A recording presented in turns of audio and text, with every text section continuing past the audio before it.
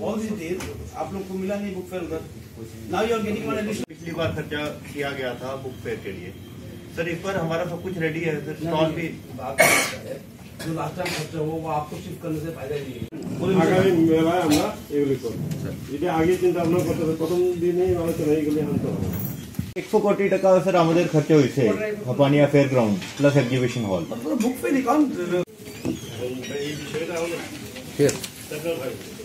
মিডিয়ামের জন্য এক হাজার এক্সট্রা লার্জের জন্য এক হাজার। রেজিস্ট্রেশন শুড বি ইকুয়াল কারণ অনেকটা ভাড়ার মতন আর কি। Number option one eighty six লেখা ছিল আগের হিসাবে তো এটা অনেক বেশি বা টু নাইনটির কাছাকাছি স্টক রেজিস্ট্রেশন ফি আছে স্যার আমাদের ফি নিতে হয়। ওই যে দশের বই মেলে আরও হয়েছে কীভাবে করা যায় হাঁপানিয়াতে সাকসেস করা যায় সেখানে স্কিম কি হবে বই মেলা আমার ত্রিপুরা আমার সংস্কৃতি খুব ভালো।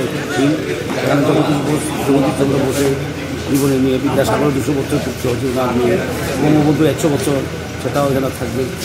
নতুন রকম, নতুন আকারে কীভাবে করা নতুন কীভাবে আনা যায় বই মেলা এটা স্থানটা নতুন।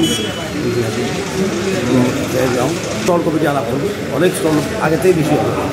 জায়গাটা বড় তো করে বানানো আছে।